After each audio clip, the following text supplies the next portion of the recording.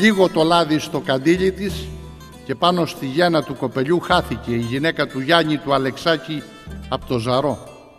Συχνά τον ακούς να κλαίει το χαμό της με μαντινάδες συγκλονιστικές δυο από τις οποίες εμένα με τρελαίνουν. Φεύγει μου η σκέψη τακτικά. Πού λέτε πως πηγαίνει; Για το χατήρι μιας φιλιάς στον Άδη κατεβαίνει. Κρήτη, Κρήτη μαζί σου αισθάνομαι πάντοτε ερωτευμένος κι ας είναι απάνω σου ο σταυρός απούμε σταυρωμένος.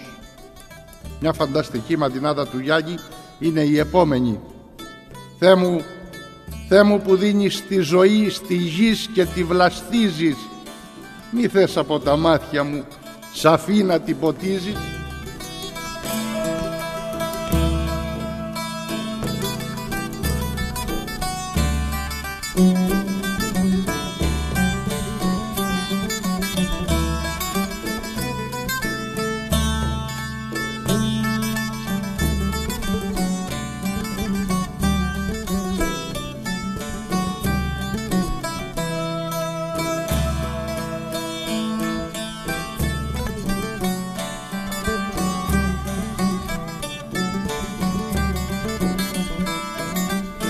Ο Γιώργης ο Κοπανάκης από την Ιεράπετρα Άγιο να είναι το χώμα που τον εσκέπασε ήταν ένας υπέροχος μαντιναδολόγος μια μέρα είπε στη γυναίκα του γίνου χαρά στη σκέψη μου και απρίλης στην καρδιά μου και ροδαυγής στο λογισμό βιόλα και κοπελιά μου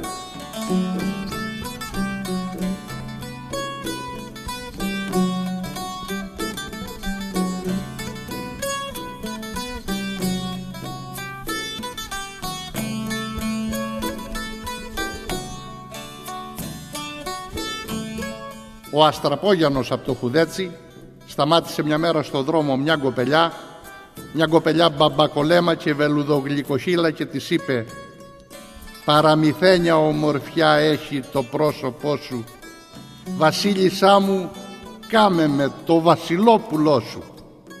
Σήμερα ζουν ευτυχισμένοι με τα παιδιά τους.